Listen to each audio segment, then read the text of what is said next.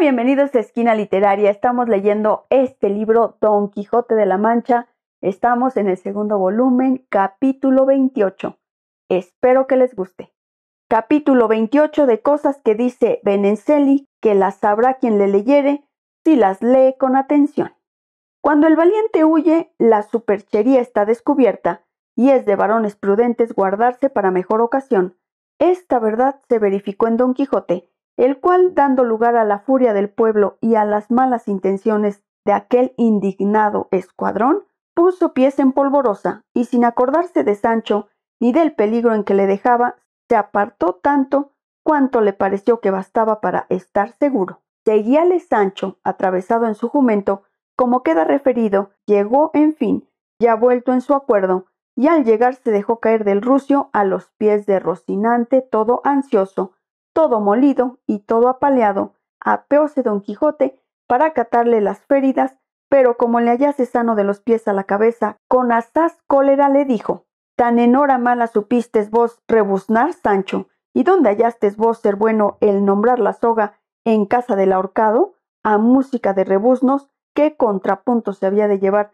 sino de varápalos, y dar gracias a Dios, Sancho, que ya os santiguaron con un palo, no os hicieron el per signum crucis con un alfanje. No estoy para responder, respondió Sancho, porque me parece que hablo por las espaldas. Subamos y apartémonos de aquí, que yo pondré silencio en mis rebuznos, pero no en dejar de decir que los caballeros andantes huyen y dejan a sus buenos escuderos molidos como a leña o como cibera en poder de sus enemigos. No huye el que se retira, respondió don Quijote, porque has de saber, Sancho, que la valentía que no se funda sobre la base de la prudencia se llama temeridad, y las hazañas del temerario más se atribuyen a la buena fortuna que a su ánimo, y así yo confieso que me he retirado, pero no huido, y en esto he imitado a muchos valientes que se han guardado para tiempos mejores, y de esto están las historias llenas, las cuales, por no serte a ti de provecho ni a mí de gusto, no te las refiero ahora. En esto ya estaba caballo Sancho, ayudado de Don Quijote, el cual asimismo subió en Rocinante, y poco a poco se fueron a emboscar en una alameda que hasta un cuarto de legua de allí se parecía. De cuando en cuando daba Sancho unos ayes profundísimos y unos gemidos dolorosos, y preguntándole Don Quijote a la causa de tan amargo sentimiento, respondió que desde la punta del espinazo hasta la nuca del celebro le dolía de manera que le sacaba de sentido. La causa de ese dolor debe de ser, sin duda, dijo don Quijote, que como era el palo con que te dieron largo y tendido, te cogió todas las espaldas, donde entran todas esas partes que te duelen, y si más te cogiera, más te doliera. Por Dios, dijo Sancho, que vuestra merced me ha sacado de una gran duda, y me la ha declarado por lindos términos. Cuerpo de mí, tan encubierta estaba la causa de mi dolor que ha sido menester decirme que me duele todo, todo aquello que alcanzó el palo. Si me dolieran los tobillos, aún pudiera ser que anduviera adivinando el por qué me dolían, pero dolerme lo que me molieron no es mucho adivinar. A la fe, Señor nuestro amo, el mal ajeno de pelo cuelga, y cada día voy descubriendo tierra de lo poco que puedo esperar de la compañía que con vuestra merced tengo, porque si esta vez me ha dejado apalear otras y otras siento, volveremos a los manteamientos de marras y a otras muchacherías que si ahora me han salido a las espaldas, después me saldrán a los ojos. Harto mejor haría yo, sino que soy un bárbaro y no haré nada que bueno sea en toda mi vida. Harto mejor haría yo, vuelvo a decir, en volver a mi casa y a mi mujer y a mis hijos, y sustentarla y criarlos con lo que Dios fue servido de darme, y no andarme tras vuestra merced por caminos sin cambio, y por sendas y carreras que no las tienen, bebiendo mal y comiendo peor. Pues tomadme el dormir, contad, hermano escudero, siete pies de tierra, y si quisiérades más, tomad otros tantos que en vuestra mano está escudillar, y tendeos a todo vuestro buen talante, que quemado vea yo y hecho polvos al primero que dio puntada en la andante caballería, o a lo menos al primero que quiso ser escudero, de tales tontos como debieron ser todos los caballeros andantes pasados. De los presentes no digo nada, que por ser vuestra merced uno de ellos, los tengo respeto, y porque sé que sabe vuestra merced un punto más que el diablo, en cuanto habla y en cuanto piensa. Haría yo una buena apuesta con vos Sancho, dijo don Quijote, que ahora que vais hablando sin que nadie os vaya a la mano, que no os duele nada en todo vuestro cuerpo, hablad, hijo mío, todo aquello que os viniera al pensamiento y a la boca, que a trueco de que a vos no os duela nada, tendré yo por gusto el enfado que me dan vuestras impertinencias, y si tanto dese y si tanto deseáis volveros a vuestra casa con vuestra mujer y hijos, no permita Dios que yo os lo impida. Dineros tenéis míos, mirad cuánto ha que esta tercera vez salimos de nuestro pueblo, y mirad lo que podéis y debéis ganar cada mes, y pagaos de vuestra mano. Cuando yo servía, respondió Sancho a Tomé Carrasco, el padre del bachiller Sansón Carrasco, que vuestra merced bien conoce, dos ducados ganaba cada mes, amén de la comida, con vuestra merced no sé lo que puedo ganar, puesto que sé que tiene más trabajo el escudero del caballero andante que el que sirve a un labrador, que en resolución los que servimos a labradores, por mucho que trabajemos de día, por mal que suceda, a la noche cenamos olla y dormimos en cama, en la cual no he dormido después que a que sirvo a vuestra merced, si no ha sido el tiempo breve que estuvimos en casa de don Diego de Miranda y la gira que tuve con la espuma, que saqué de las ollas de Camacho,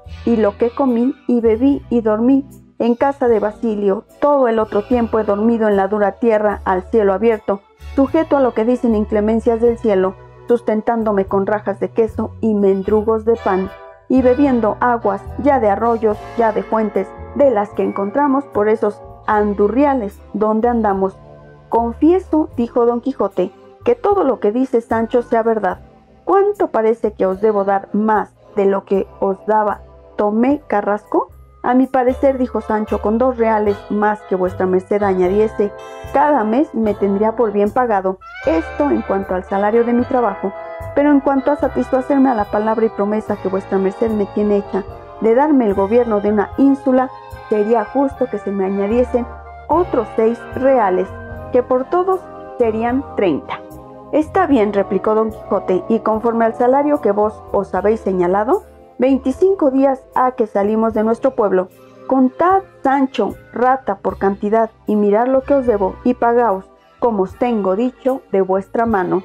Oh cuerpo de mí, dijo Sancho, que va a vuestra merced muy errado en esta cuenta, porque en lo de la promesa de la ínsula se ha de contar desde el día que vuestra merced me la prometió hasta la presente hora en que estamos.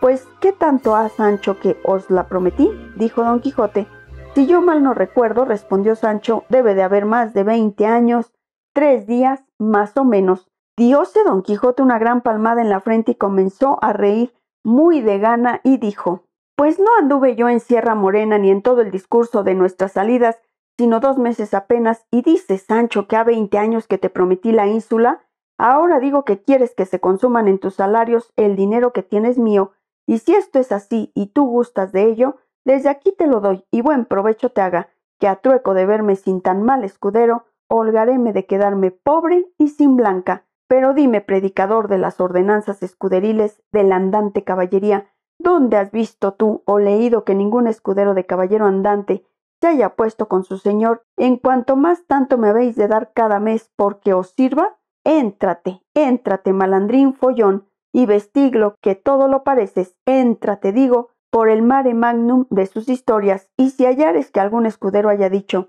ni pensado lo que aquí has dicho, quiero que me le claves en la frente, y por añadidura me hagas cuatro mamonas selladas en mi rostro, vuelve las riendas o el cabestro al rucio, y vuélvete a tu casa, porque un solo paso desde aquí no has de pasar más adelante conmigo. Oh pan mal conocido, oh promesas mal colocadas, Oh hombre que tiene más de bestia que de persona, ahora cuando yo pensaba ponerte en estado, y tal que a pesar de tu mujer te llamaran señoría, te despides. Ahora te vas cuando yo tenía con intención firme y valedera de hacerte señor de la mejor ínsula del mundo. En fin, como tú has dicho otras veces, no es la miel, etc. Asno eres y asno has de ser, y en asno has de parar cuando se te acabe el curso de la vida que para mí tengo que antes llegará ella a su último término, que tú caigas y te des en la cuenta de que eres bestia. Miraba Sancho a don Quijote de un hito en hito, en tanto que los tales vituperios le decía, y compugiéndose de manera que le vinieron las lágrimas a los ojos, y con voz dolorida y enferma le dijo Señor mío, yo confieso que para ser del todo asno, no me falta más de la cola. Si vuestra merced quiere ponérmela, yo la daré por bien puesta, y le serviré como jumento todos los días que me quedan de mi vida. Vuestra merced me perdone, y se duela de mi mocedad, y advierta que sé poco, y que si hablo mucho, más procede de enfermedad que de malicia, mas quien yerra y se enmienda, a Dios se encomienda. Maravilláreme yo, Sancho, si no mezclaras algún refrancisco en tu coloquio. Ahora bien, yo te perdono con que te enmiendes y con que no te muestres de aquí adelante tan amigo de tu interés, sino que procures ensanchar el corazón y te alientes y animes a esperar el cumplimiento de mis promesas, que aunque se tarda, no se imposibilita. Sancho respondió que sí haría, aunque sacase fuerzas de flaqueza, con esto se metieron en la alameda y don Quijote se acomodó al pie de un olmo y Sancho al de una haya, que estos tales árboles y otros sus semejantes siempre tienen pies y no manos. Sancho pasó la noche penosamente porque el varapalo se hacía más sentir con el sereno. Don Quijote la pasó en sus continuas memorias, pero con todo eso dieron los ojos al sueño y al salir del alba siguieron su camino buscando las riberas del famoso Ebro, donde le sucedió lo que se contará en el capítulo venidero. Muchas gracias por acompañarme en la lectura de este libro Don Quijote de la Mancha. Los espero en el próximo video.